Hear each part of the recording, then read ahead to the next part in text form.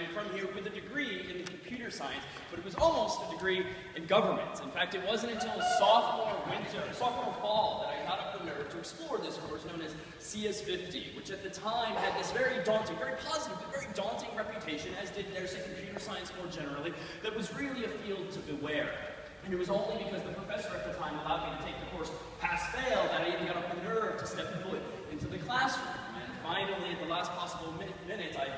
that bit and changed to letter graded status, ultimately concentrating in computer science. And this theme, though, of exploring beyond one's comfort zone and trying something unfamiliar to oneself, has really permeated for me personally the course over the past few years. Now, for those unfamiliar, you might know CS50 in one of its earlier forms. If you scroll back in time, you might know the course as ES110, Introduction to Engineering, particularly focused on concentrators, which evolved over time into AM110, which evolved over time into CS150. Meanwhile, perhaps more of you might recall NatSci 110, which was another predecessor, which was another predecessor of ours, which too over time evolved into something called AS1, uh, AS10, and ultimately into QR20. And then along the way was a third branch forked off from these two lineages, one focused on concentrators, one focused on non-concentrators, first called Applied Sciences 11, then Computer Science 11, until in 1989 CS50 was born. And this is now the course that I myself now helm, and I thought what I would do over the next few minutes is just give you a taste of what's been going on in this particular classroom and why indeed it's been some exciting times on campus for computer science. So CS50 is an introduction, as we say, to the intellectual enterprises of computer science and the art of programming, which means it prepares undergrads today to be concentrators in computer science or in other STEM fields, but it's also meant to be an introduction more generally to non-concentrators. Indeed, a super majority of the students in the class these days are themselves literally every concentration at Harvard.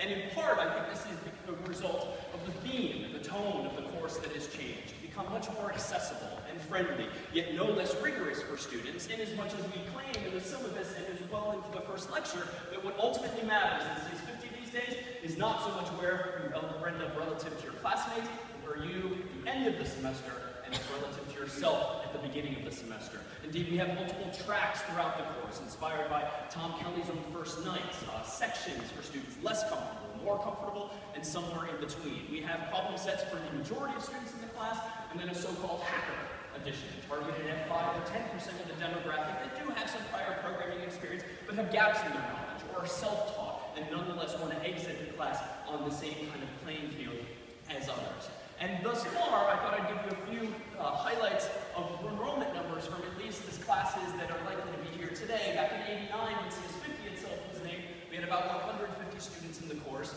Ten years later, in my year, in 1999, we had just shy of 300 students in the course. Fast forward to 2009, just over 300 students in the course, and most recently, we've hit 700 students. So that is where we are today. Um, indeed, if we flip the camera around on you, this is what the first week, at least, of CS50 looks like these days here in Sanders. But even more striking, perhaps, are the visuals we see throughout campus. We've uh, moved ourselves, as you may be pleased to hear, from the basement of the Science Center and its fluorescent lights and cubicles and office hours are now held in the House Dining Hall. So Eliot House, Lowell House, Lever House, and several others over the past few years. So for instance, this is just a typical night at Leverett House these days, and this is a typical night at Quincy House. We regularly on Mondays, Tuesdays, Wednesdays, Thursdays, from 8 onward, draw some 50 to 200 students per night at office hours for one-on-one -on -one help from their mentors who are now a group of teaching fellows and course assistants that this most recent year numbered a staff of 102 TFs and CAs in order to provide students with all the more hands-on support that we can. But what is computer science? What are any of those courses that you may have heard of but not necessarily took yourself? Well, I dare say it's more familiar to you you might think. In fact, the way we start week zero as we say in the course, is to take this old thing, which frankly the undergrads decreasingly know what it is, but let's, uh, or to know that it's a, a, phone book, and inside of here are some thousands names and phone numbers, and I question how we might go about finding someone in this, someone named Mike Smith. Well, we could very correctly start at the beginning, and then flip the page, and then flip the page again, and flip the page again. Now, none of us in the room would do this, but surely we'll eventually find Mike Smith if he's indeed here, because this is a correct, if naive, algorithm.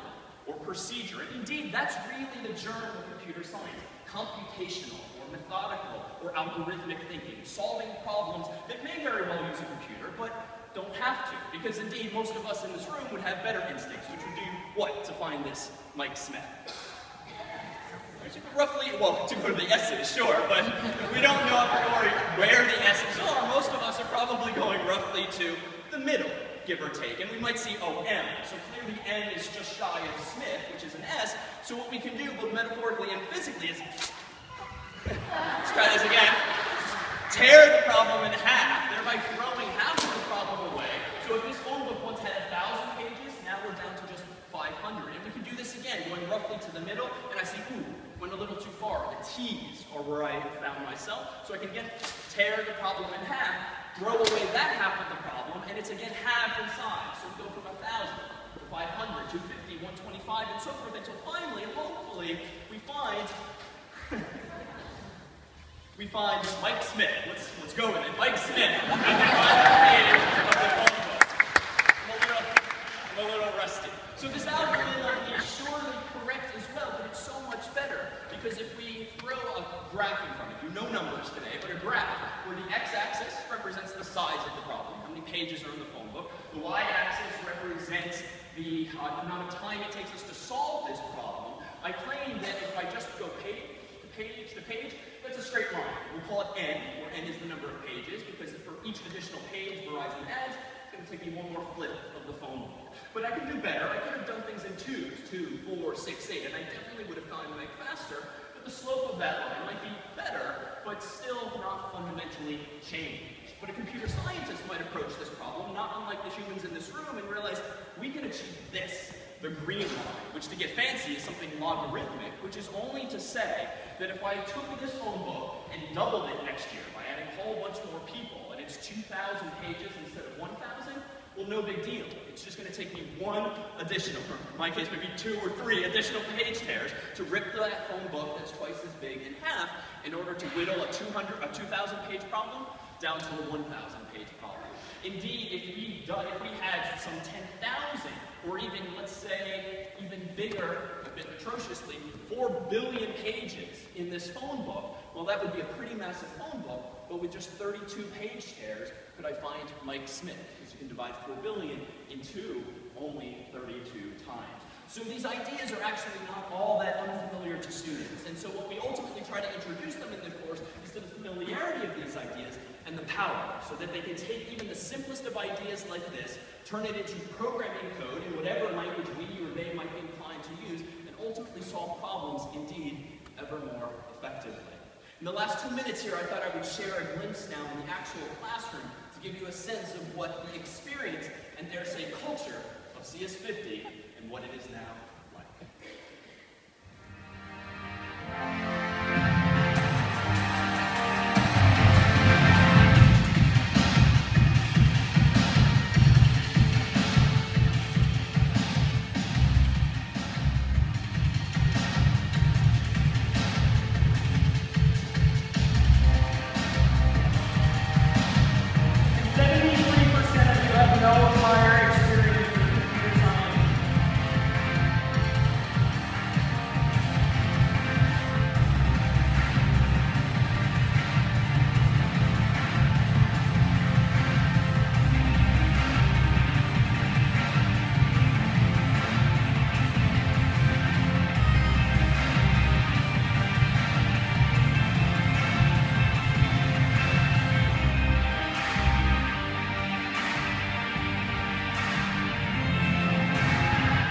This is the CS50 Hackathon, an epic all-nighter during which CS50 students gather in both the Public Innovation Lab and HPS's pod, working throughout the project. A few hours ago, we had pizza, several hundred quickly devoured. Coming up soon at 1 a.m. will be Chinese food, and at 5 a.m., I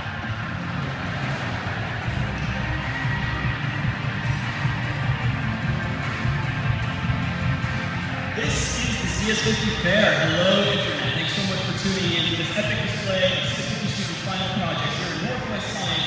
larger buildings on campus. And as you can see here behind me, we have hundreds of students and hundreds of attendees enjoying popcorn and candy and snacks, as well as most importantly, hundreds of final projects